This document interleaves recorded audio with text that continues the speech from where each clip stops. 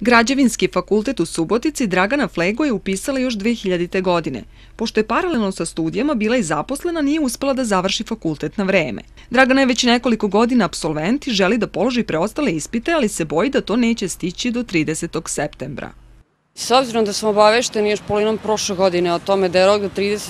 septembra, to bi trebalo da bude dovoljno većini, recimo. Mislim, ja, sa onim što je meni ostalo, ne verujem, iskreno, ali bilo bi skroz u redu da ako nekom ostane ispit dva ili nešto da dobijemo ne neke naknadne ono, uslove od dekana ili, jer koliko sam ja shvatila tog nekog priznavanja ispita i šta ja znam da li će biti ili neće, ali stvarno bilo šteta ovaj, za one kojima ostane jedan ili dva ispita ili eventualno diplomski da nakraju ostane bez fakulteta.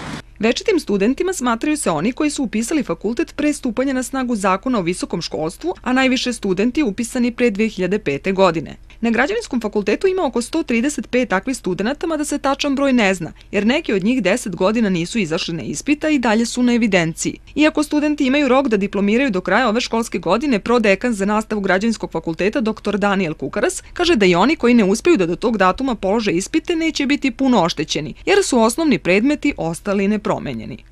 Treba se uraditi vrednovanje studijskog programa, sad imamo mnogo bogatiju ponudu studijskih, studijskih programa, pa će oni moći e, ili da nastave otprilike studijski program kakav su započeli, konstruktivni smer, hidrotehnički smer ili sa, smer za saobraćajnice ili neki od novih što će biti, verujem, arhitektonsko inženjerstvo, urbanizam, e, neki od tih smerova, u zavisnosti od toga za šta se odluče, napravit će im se vrednovanje i priznaćemo uglavnom, znači osnovni predmeti koji su najveći problem, kao što su statika, mehanika, tla, oni ostaju manje više isti, znači studenti koji su položili te ispite, to će im se priznavati. Imamo novih, to će biti svakako.